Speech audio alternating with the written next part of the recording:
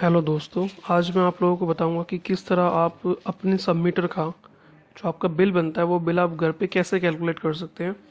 आ, कुछ केसेस में कुछ घरों में मकान मालिक आपको कैलकुलेट करके देता है तो आपको भी कुछ हद तक पता होना चाहिए कि कैलकुलेशन कैसे होती है मीटर के बिल की सब मीटर के बिल की।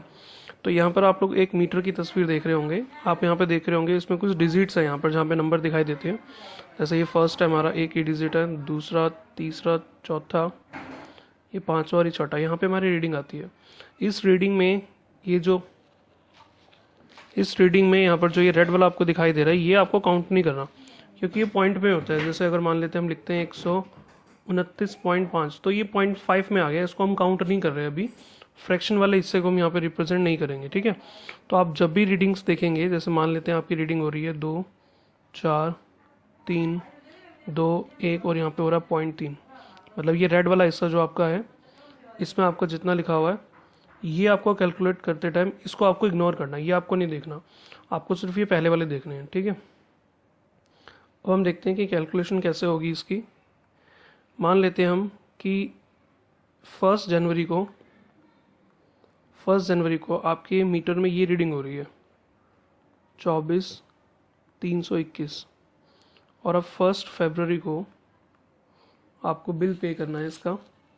तो अब मान लेते हैं यहाँ पे रीडिंग हो रही है आपकी। पच्चीस तीन सौ इक्कीस। मैं इजी इजी फिगर ले रहा हूँ यहाँ पे। तो आपका जो यहाँ पे बिल बन गया, रीडिंग बन गई, वो बन गई एक हज़ार। तो जैसे आपकी रीडिंग ये बनी यहाँ पर अभी, ठीक है? ये आपकी रीडिंग बनी फ़र्स्ट जनवरी को। इतनी रीडिंग थी आपकी फ़र्स्ट जनवरी को। फ़र्स्ट जनवरी को आपकी कितनी रीडिंग थी?